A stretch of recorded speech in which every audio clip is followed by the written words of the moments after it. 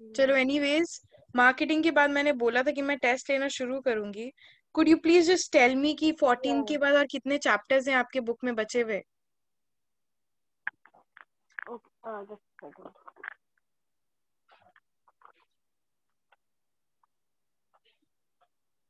Ma'am सिर्फ़ एक consumer protection okay Copa बोलते हैं उसको consumer protection act right yes ma'am okay so consumer protection act हम लोग uh, कर लेंगे after this and your commerce syllabus would be completed and आपके बीएसटी चलेंगे। ऑलरेडी बीएसटी आपका साइमल्टेनियसली चल रहा था। अद्रिका का जितने भी चैप्टर्स थे रिक्रूटिंग वगैरह के वो सब आपके बीएसटी के ही चैप्टर्स थे।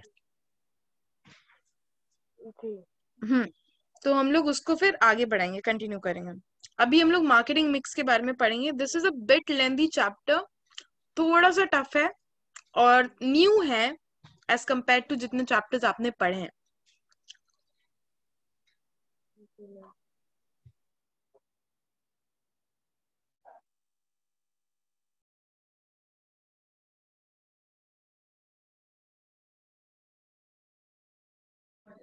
अद्रिका का स्पेसिफिकली तो ये चैप्टर नहीं है बट उसके मार्केटिंग चैप्टर में ये सारे पार्ट्स आ जाते हैं। तो अद्रिका इनडायरेक्टली आपका ये सब कुछ है आपके सिलेबस में ओके ना, मैं इसको थोड़ा सा इंटरेस्टिंग बनाऊँगी और लाइन बाय लाइन नहीं जाऊँगी। इसका मेन कंसेप्ट और कंटेंट आपको देते हुए चली जाऊँगी। आप एक बार रीड करोगे, आपको सब चीज़ अपने आप समझ आएगी। मार्केटिंग का मतलब हम लोग लास्ट क्लास में पढ़ चुके थे। लास्ट क्लास में हमने ये भी पढ़ा था कि मार्केटिंग और मार्केट अलग होता है। मार्केटिंग में ट्रेडिशनल अप्रोच था और मॉडर्न अप्रोच था।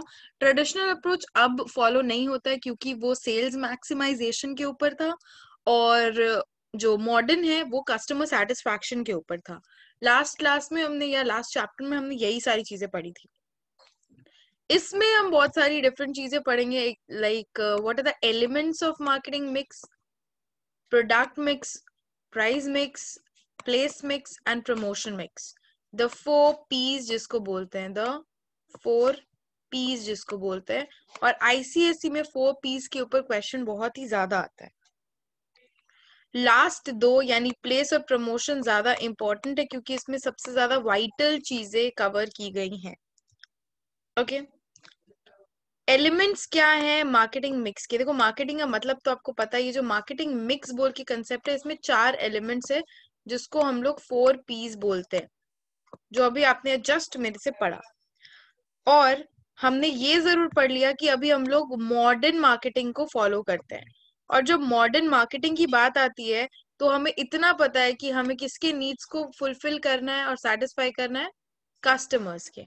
और सारा का सारा जो भी प्रोडक्ट हमें बनाना है, वो किसको दिमाग में रख के बनाना है? कस्टमर्स को। क्योंकि दीज आर द वन जो हमें रेवेन्यू देंगे, हमारे बिज़नेस को रेवेन्यू देंगे। आपको फोर पी लिखा हुआ यहाँ पे दिख जाएगा, ये फोर पीस जो क्या है? Product price place promotion. Okay? ये एक दूसरे से टोटली रिलेटेड है और यही है एलिमेंट्स आपके मार्केटिंग मिक्स के। मार्केटिंग मिक्स बेसिकली इंपॉर्टेंट है क्यों? ये देखना इंपॉर्टेंट है हमारे लिए। So marketing mix is important why क्योंकि हम लोगों को कस्टमर्स के संग डील करना है और उनका नेचर उनका नीड्स उनका डिज़ायर उनका टेस्ट प्रेफरेंसेस कौन से टारगेटेड ग्रुप का ये सब कुछ आपको फोर पीस या एलिमेंट्स के थ्रू पता चल सकता है। ठीक है? जो अल्टीमेटली आपका सेल और ऑफ़ कोर्स आपका प्रॉफिट इंक्रीज करेगा अगर आप इनके ऊपर ध्यान दोगे तो।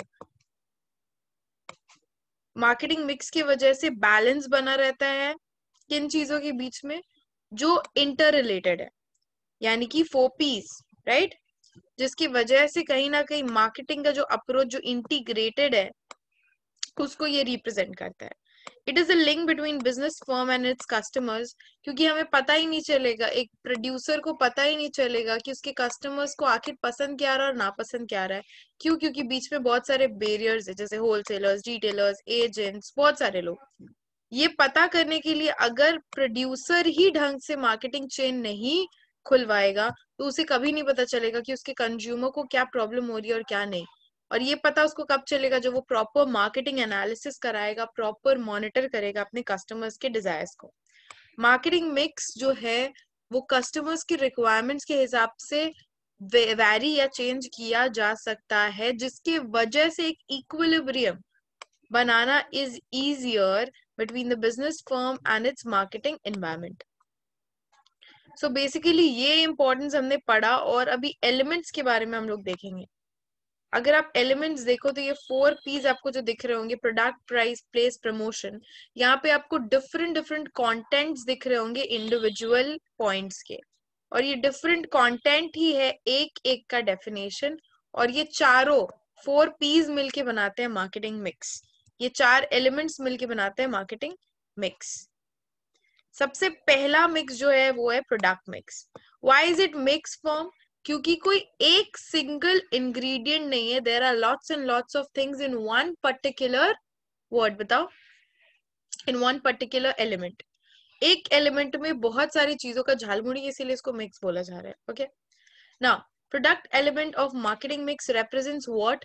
Tangible and intangible elements ma'am what is tangible and what is intangible we know things which we can touch and everything is tangible and which we cannot only we can feel is intangible but ye yahan aaya kaise we'll tell you we'll tell you there are lots and lots of things in a product that is goods and services product means का मतलब है यहाँ पे आप दोनों भी चीज़ों के संग डील कर रहे हो राइट right? सेल के लिए दोनों चीज़ें भी होती है right right?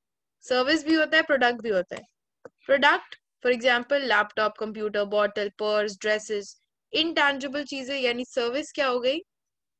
Doctor services teacher services lawyer services है ना? ये क्या है?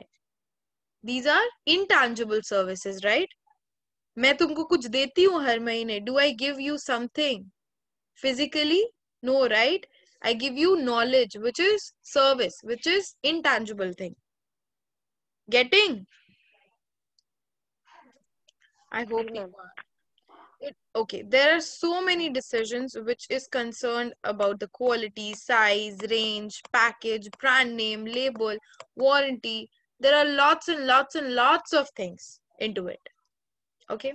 Now, these product related activities, these activities which I've tick mark in front of you, okay, is basically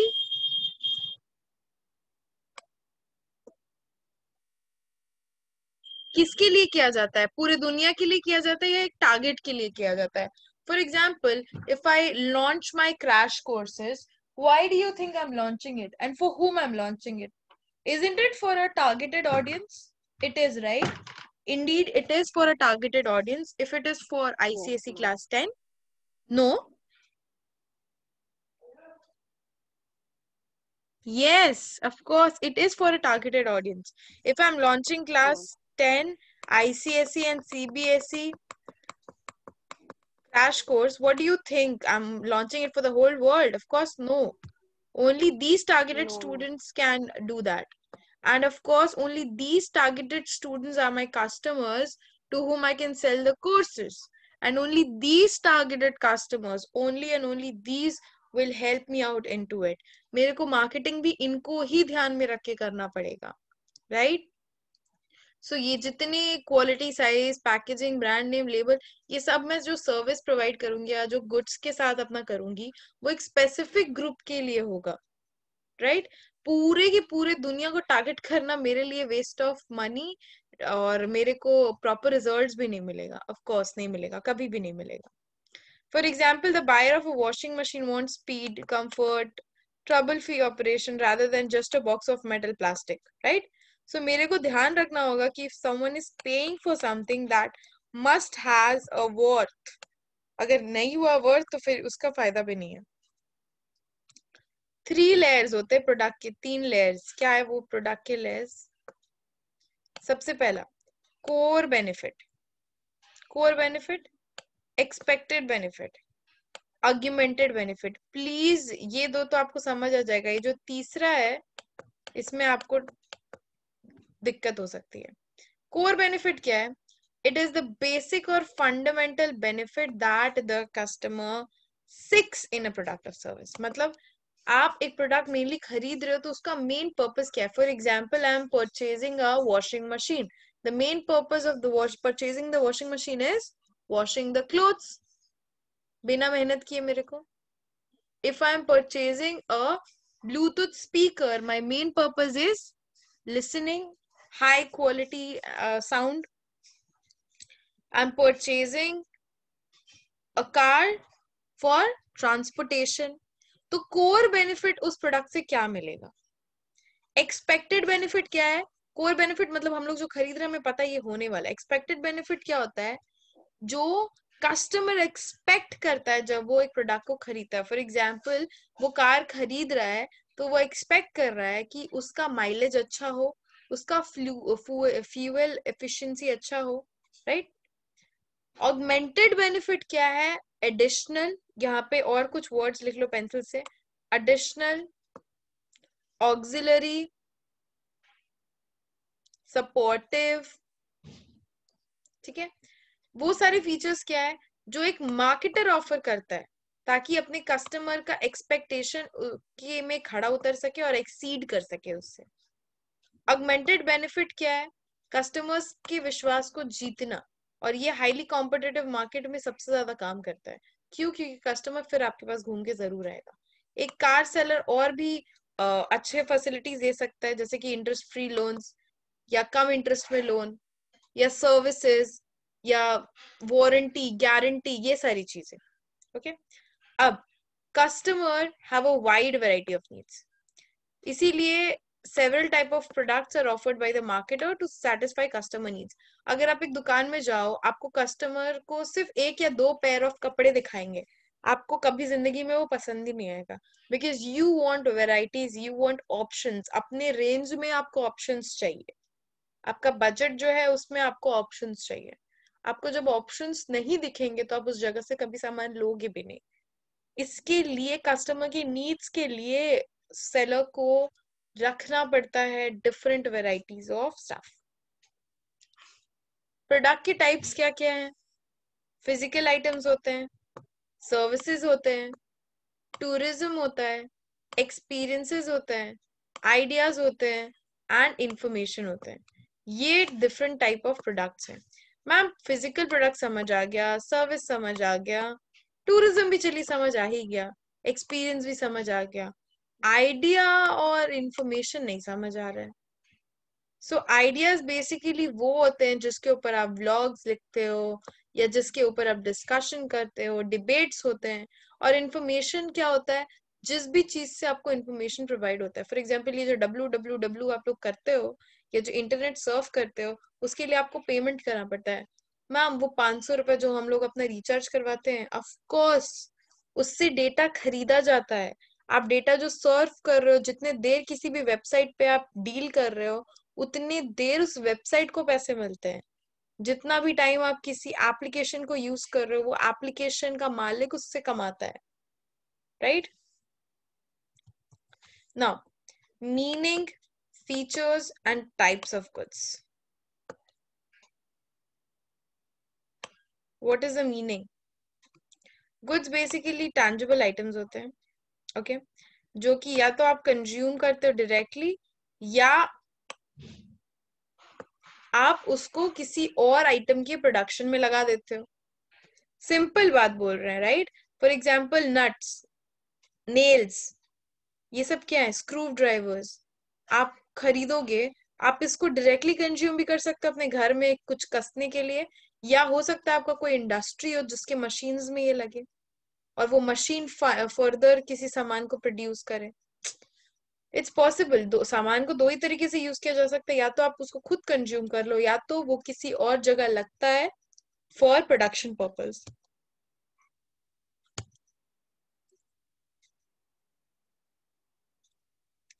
features goods के फीचर्स क्या होते हैं?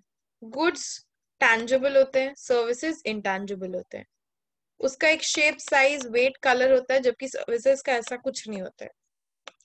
गुड्स को उसके मालिक से या प्रोड्यूसर सेलर से सेपरेट किया जा सकता है सर्विस को नहीं किया जा सकता। गुड्स को हम लोग फ्यूचर में सेल करने के लिए स्टोर कर सकते हैं सर्विसेज़ को नहीं। फैक्ट्री में एक टाइप के गुड्स बनते हैं, और गुड्स हमेशा अलग अलग टाइप्स के होते हैं। टाइप जो गुड का है, वो मेनली दो टाइप का क्लासिफाई किया गया है।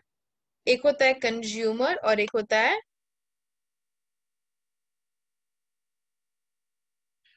इंडस्ट्रियल ठीक है?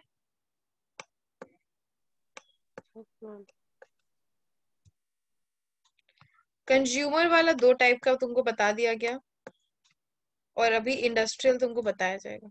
देखो। सबसे पहला कंज्यूमर गुड्स इसको आप डायरेक्टली अल्टीमेट कंज्यूमर इसको यूज़ करता है, जैसे toothpaste bread butter blah blah blah ठीक है? और on the basis of time and efforts इसको दो टाइप में बांटा गया है। पहला कन्वेंस प्रोडक्ट्स ये बार बार लोग खरीदते हैं, जैसे कि बेसिक आइटम्स जो रेगुलर बेसिस पे खत्म हो जाता है। कन्वेंस प्रोडक्ट जिसको बोलते हैं। इसके मेन कैरेक्टरिस्टिक्स क्या है? ये प्रोडक्ट्स को आप बार बार कन्वीनियंटली खरीदते हो कभी भी। ये प्रोडक्ट्स छोटे छोटे यूनिट में खरीदे जाते हैं और सस्ते होते हैं मोस्ट प्रोबेबली ये प्रोडक्ट्स स्टैंडर्डाइज्ड होते हैं और यूजुअली ब्रांडेड होते हैं। स्टैंडर्डाइज मतलब आपको पता है आप जितना खरीद रहे हो, वो कितने केजी का है या कितने ग्राम का है या कितने पीस का है। For example one packet of toothpaste one tube of toothpaste okay इसका डिमांड कंटिन्यूस होता है और ये डेली यूज़ में काम आते हैं। शॉपिंग प्रोडक्ट्स क्या है? ये आप ऑफ़ कोर्स रेगुलर बेसिस पे नहीं खरीदते हो, ठीक है?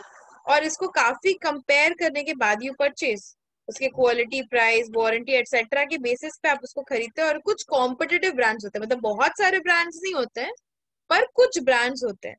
जैसे टीवी फ्रिज वॉशिंग मशीन इसके कैरेक्टरिस्टिक्स क्या है? ये ड्यूरेबल होता है। एक बार खरीदने से काफ़ी टाइम तक चलता है। ये प्रोडक्ट जो है, आप प्लानिंग के साथ खरीदते हो और जल्दी जल्दी में नहीं खरीदते हो। ये प्रोडक्ट का यूनिट प्राइस काफ़ी ज़्यादा होता है। मतलब जब आप इसको फ़र्स्ट हैंड खरीदते हो तो उसका प्राइस ज़्यादा होता है। और ये कंपैरिजन के बाद ही आप खरीदते हैं और कुछ कॉम्पिटेटिव ब्रांड्स ही होते हैं, ज़्यादा नहीं होते।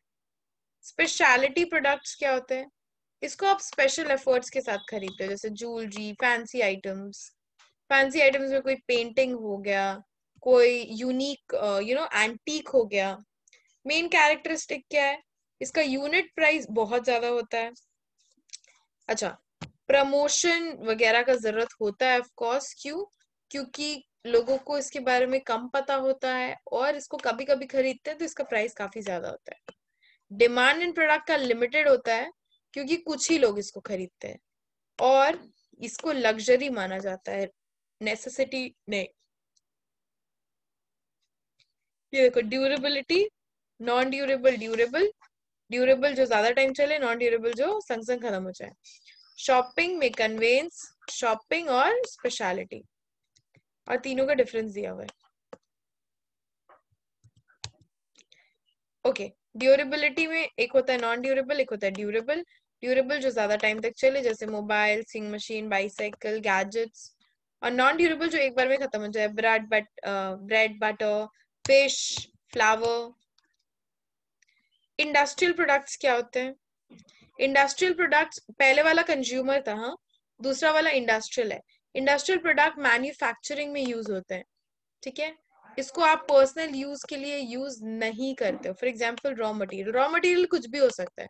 इट कैन बी लकड़ी it can be iron it can be cotton it can be anything जिससे कोई सामान बने। ऑपरेटिंग सप्लाईज क्या होता है? ये फिनिश प्रोडक्ट का पार्ट नहीं होता है।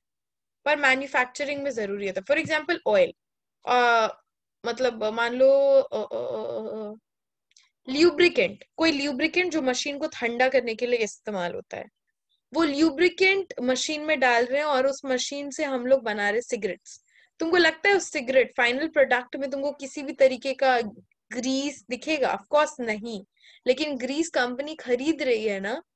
क्यों? क्योंकि इनडायरेक्टली उस ग्रीस को आप मशीन में डाल रहे हो मशीन प्रोड्यूस कर रही है सिगरेट्स ओके? ये देखो। Example nut bolt nail pen lubricating oil ठीक है? इंस्टॉलेशन बड़े बड़े मशीन भारी भारी मशीन इंस्टॉल होते हैं फैक्ट्रीज में। कॉस्टली होते हैं जो बहुत ज़्यादा। क्या लगता है तुमको प्रोडक्ट खरीदते हो तो वो मशीन भी मिलेगा? Of course not accessory equipment जैसे छोटे छोटे drill hand tool personal computers fax machine ये सब कुछ कंपनी में रहते हैं फैक्ट्री में रहते हैं। बट क्या कभी भी इसको फाइनल प्रोडक्ट में दिखता है ये सब? ऑफ़ कोर्स नहीं।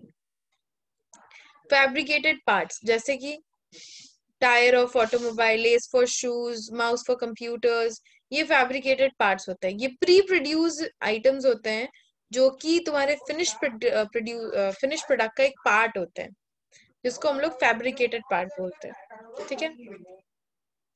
मेन कैरेक्टरिस्टिक्स क्या है इंडस्ट्रियल प्रोडक्ट का? इसके बायस कम होते हैं ऑफकोर्स हर इंसान नहीं आ जाता है इंडस्ट्री uh, खोलने के लिए। डिप्राइव डिमांड मतलब सॉरी डिराइव डिमांड मतलब ये जो इंडस्ट्रियल गुड्स होते हैं, जैसे शुगर केन वगैरह वगैरह, हमें चीनी से मतलब है ईक से नहीं। तो इसका जो डिमांड है, वो कैसे होता है? फॉर एग्ज़ाम्पल लोगों को कॉटन का कपड़ा पहनना पसंद है, तब हम लोग कॉटन खरीदेंगे और उससे कपड़े बनाएँगे। चीनी का प्रोडक्शन बढ़ाना पड़ेगा, इसके लिए हमें शुगर केन खरीदना पड़ेगा। तो इसका जो डिमांड है, वो डिराइव्ड है, किसी चीज़ से आ रहा है क्लोथ से कॉटन का डिमांड आ रहा है। शुगर केन से शुगर का आ रहा है। समझ रहे हो? जोग्राफिकल कॉन्सेंट्रेशन मतलब क्या हो गया?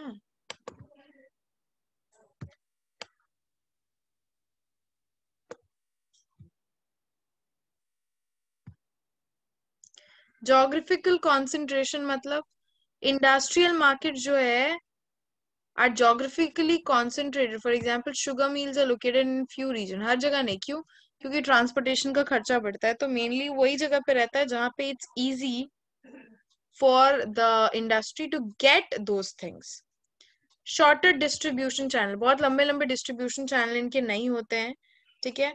ये लोग खुद एक चैनल बना लेते हैं जिसके थ्रू ये लोग अपने डायरेक्ट कस्टमर तक पहुँच सके। Technical considerations industrial product are complex and involve technical issues these are purchased for rational rather than emotional motives rational motive मतलब सोचा समझा बुद्धि लगाया हुआ चीज़ तो इंडस्ट्रियल प्रोडक्ट काफ़ी कॉम्प्लेक्स होते हैं इसको आप ऐसे फ्लो फ्लो में आके नहीं खरीद लेते हो of course you have so many different decisions to take before purchasing leasing out क्योंकि प्राइस बहुत ज़्यादा रहता है, बहुत सारे बायर्स जो होते हैं, वो लोग कैपिटल इक्विपमेंट जैसे मशीनरी वगैरह लीज भी करते हैं काफ़ी लंबे टाइम के लिए, जिसके लिए वो लोग रेंट लेते हैं। Reciprocal buying what is it कुछ बड़े बड़े कंपनीज़ जैसे ये टाटा मोटर्स ठीक है, और वगैरह वगैरह, वो बड़े कंपनी है एमआरएफ से टायर्स लेते हैं, जो कि एमआरएफ जो कि उन लोगों से टाटा मोटर से ट्रक खरीद ले। तो ये रेसिप्रोकल हो गया। आप मेरे से खरीदो, हम आपसे खरीदेंगे। ठीक है? तो ये सारे जो बड़े बड़े कंपनीज़ है, वो आपस में इन सारे फैक्टर्स के संग डील करके फिर आगे सामान लेते हैं। सर्विसेज़ या कैसे कैसे टाइप ऑफ़ सर्विसेज़ होते हैं, उसके बारे में हम लोग देखेंगे। सर्विसेज़ का मतलब तो हमें पता है क्या होता है कि जो कस्टमर्स को सेटिस्फाई कर दे किसी एक सर्विस से, वो आपको कुछ बदले में मिलेगा नहीं बट आपको सर्विस अवेल हो जाएगा। फॉर एग्ज़ाम्पल सर्विसेज़ हमेशा इंटेंजिबल होता है। अच्छा एग्ज़ाम्पल है तुम्हारा एयरलाइन तुम एयरलाइन एयर टिकट मान लो आठ हज़ार रुपए का एक टिकट लिए यहाँ से गोवा जाने के लिए। ओके उतर मतलब तुम यहाँ से गए फ़्लाइट में बैठे, गोवा पहुँच गए एंड गोवा उतर गए तो तुम क्या बोलोगे? अरे, मैंने आठ हज़ार दिए, मुझे प्लेन का एक टुकड़ा दीजिए गुड्स तो दीजिए। दिस इज़ नॉट पॉसिबल तुम्हारा सर्विस तुमको क्या अवेल हुआ कि तुम कम टाइम में कोलकाता से गोवा पहुँच गए। वो आठ हज़ार तुमने उसके लिए पे किया। सर्विस कभी भी दिखती नहीं है इट्स हमेशा एंड हमेशा इंटेंजिबल सर्विस पेरिशेबल होती है, एक बार यूज़ करने के बाद यूज़ नहीं कर सकते हो। उस आठ हज़ार के टिकट के लिए जो तुमने पैसे दिए थे, वो जब तुम पहुँच गए गोवा तो वो खत्म हो गई, बस। सर्विस इनसेपरेबल होती है, जिससे सर्विस ले रहे हो, उससे कभी भी आप वापस नहीं ले सकते हो ओके okay? कभी भी आप उससे वो सर्विस वापस नहीं ले सकते हो। For example a nurse looking after patient repair machine providing repair services आप उनसे ना उनका नॉलेज ले सकते हो और ना उस पेशेंट से जो सेवा उसको मिली है उससे वापस ले सकते हो। हेट्रोजीनियस होता है। जैसे कि सर्विसेज़ uh, में साइमल्टेनियसली पढ़ा रही थी तुमको गुड्स के साथ ही। वहाँ पे फैक्ट्री में चीज़ें एक जैसी प्रोड्यूस होती है, जबकि सर्विसेज़ एक जैसी हमेशा हर जगह नहीं रहती है। तुम मेरे से पढ़ रहे तुम्हारा एक्सपीरियंस कुछ और होगा। तुम किसी और से पढ़ोगे, तुम्हारा एक्सपीरियंस कुछ और होगा। डिपेंड करता है तुमको कौन सा एक्सपीरियंस पसंद आ रहा है राइट वैसे ही सर्विसेज़ कभी भी स्टैंडर्डाइज यानी कि एक ही कट ऑफ़ लाइन में नहीं आ सकती है। Every service is different from one another क्योंकि लोग दे रहे हैं ना टाइप्स सर्विसेज़ सेवरल टाइप्स की होती है।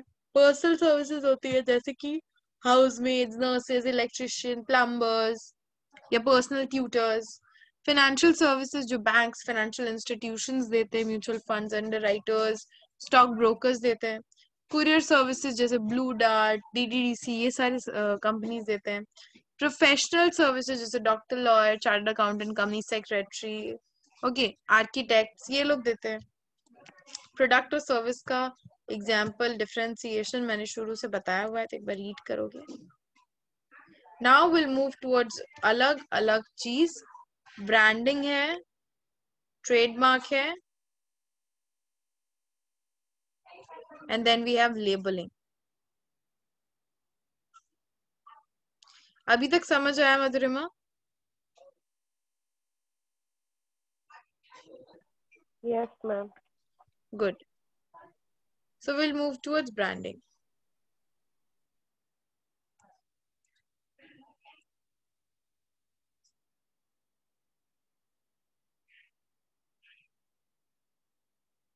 what basically branding is बोलते हैं ना, कोई भी कंपनी शुरू हो रही है तो वो खुद का ब्रांड बना रही है यहाँ पे एक डिस्टिंग एक अलग सा नाम देना या कोई सिंबल देना अपने प्रोडक्ट को ताकि वो लोगों के बीच हमेशा याद रखा जाए, ठीक है? एफर्ट्स डाले जाते हैं ताकि आपके प्रोडक्ट को मार्केट में अलग यू नो स्टेटस या स्टैंडर्ड कैसे दिया जाए। तो बेसिकली एक ब्रांड कोई साइन हो सकता है, कोई सिंबल हो सकता है, ठीक है? जिस, जिसको सुनते ही आपको एकदम एग्जैक्टली उस कंपनी के बारे में हिट करे फाइन और अपने कॉम्पिटिटर्स से अपने सामान को अलग करना है, जैसे Vivel Lux Coca Cola Maaza, Bata, Parker, ये कुछ ब्रांड्स हैं, ठीक है? इसमें कोई लेटर हो सकता है साइन हो सकता है, जिसको आप प्रोनाउंस कर सको। सफोला मैगी अंकल चिप्स ये सब। अब ब्रांड अलग होता है ब्रांड मार्क अलग होता है। ब्रांड हो गया नाम, जिसको आप पढ़ सको। ब्रांड मार्क हो गया सिंबल डिज़ाइन जिसको आप देख सको, पर प्रोनाउंस नहीं कर सको। तो एक ब्रांड अलग होता है, एक ब्रांड एक नाम होता है। और ब्रांड मार्क उसका सिंबल होता है। जैसे एशियन पेंट्स में गुट्टू था ओनिडा में एक आदमी था माथे पे ऐसा क्या बोलते उसको? सींग बना हुआ था डेविल उसके बाद फिर और बहुत डिफरेंट जैसे अमूल में वो एक बच्ची जो फ्रॉक पहनी रहती है क्यूट सी, है ना? वो कौन है? Brand mark right K plus का ब्रांड मार्क के और एक साइन है प्लस वाला जो तुमको दिखता होगा। प्रोनाउंस तुम कर सकते हो knowledge plus K N O ऐसे करके। वो हो गया ब्रांड और ब्रांड मार्क क्या हो गया? जो तुम साइन देखते हो। एक ऐसा ऐसा प्लस किया हुआ है। मतलब एक बुक बना हुआ है बुक दो।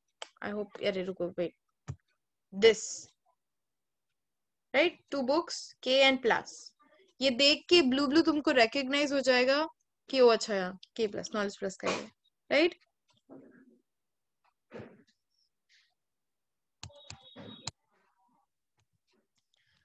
A firm may select any one of the following brand name strategies. कोई भी स्ट्रैटेजी को वो लोग क्या कर सकता है? सिलेक्ट और उसको लेके आगे बढ़ा सकता है। यहाँ पे तुमको तीन, चार, पाँच अलग अलग नाम दिए हुए उसके बाद है तुम्हारा ट्रेडमार्क ट्रेडमार्क बेसिकली क्या होता है? एक ब्रांड या ब्रांड का पार्ट जो लीगल प्रोटेक्शन इंजॉय करता है। एक फॉर्म जो कि अपने ब्रांड नेम को रजिस्टर करवा ले, उससे ये हो जाता है कि वो ब्रांड नेम को फिर कोई और यूज़ नहीं कर सकता है। ठीक है? कोई फर्म वो नाम नहीं रख सकता है। जैसे कि एल जी इलेक्ट्रॉनिक में एक एल जी का ट्रेडमार्क होता है। गुड ट्रेडमार्क वो होता है जो छोटा सिंपल सा हो। जिसको पढ़ा जा सके और ज़्यादा कंफ्यूजिंग ना हो। ठीक है ब्रांडिंग के कुछ एडवांटेजेस हैं। ऑफ़ कोर्स मार्केट में वो प्रोडक्ट अलग हो जाएगा जिसका ब्रांडिंग किया है। एडवर्टीजमेंट में आपको बहुत इजी होगा, क्यों? क्योंकि लोग आपके ब्रांड की तरफ़ लॉयल रहेंगे। प्राइसिंग आप अलग कर सकते हो, क्यों? क्योंकि आप बोल सकते हो कि वो तो भाई अपना एक अलग ही ब्रांड है। सेलिंग कॉस्ट कम होता है, क्यों? क्योंकि लोग उसको ऑलरेडी जानते हैं। अलग नाम है मार्केट में उसका। जब न्यू प्रोडक्ट आप लॉन्च करोगे तो आप सिर्फ़ पूछोगे कौन से ब्रांड का है? अच्छा मैगी का नया मसाला है, वाह! मैगी का है तो अच्छा ही होगा। और ऑफ़ कोर्स मार्केट भी आपको बड़ा मिलता है। कस्टमर्स को इजीली पता चल जाता है उनके एडवांटेजेस क्या है।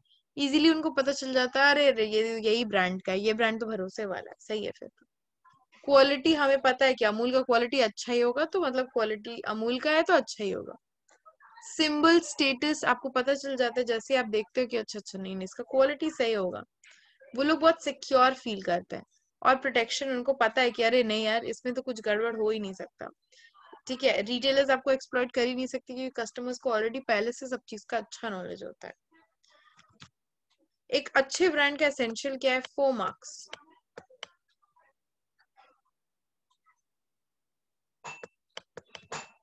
सबसे पहला brand name should be brief simple Chhotu simple सा होना चाहिए।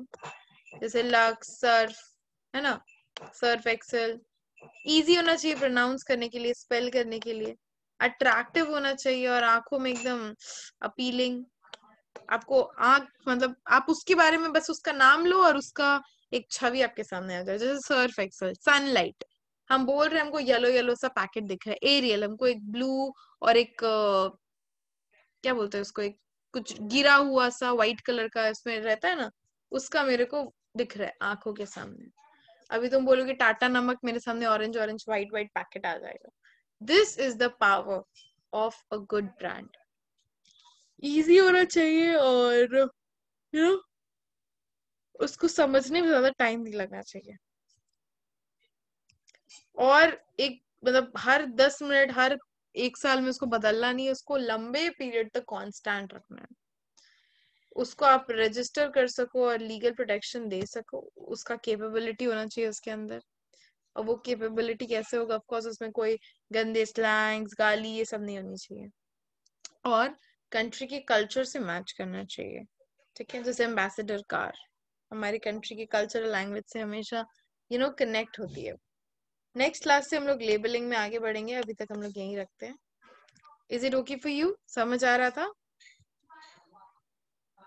यस मैम और दो क्लास में खत्म हो जाएगा। एंड फिर एक चैप्टर आपका और कॉमर्स का सिलेबस कंप्लीट फिर only and only BST commerce का सिलेबस कंप्लीट होते ही आपका टेस्ट होगा। आपको पता है ना? यस मैम ओके चलो बाय ओके मैम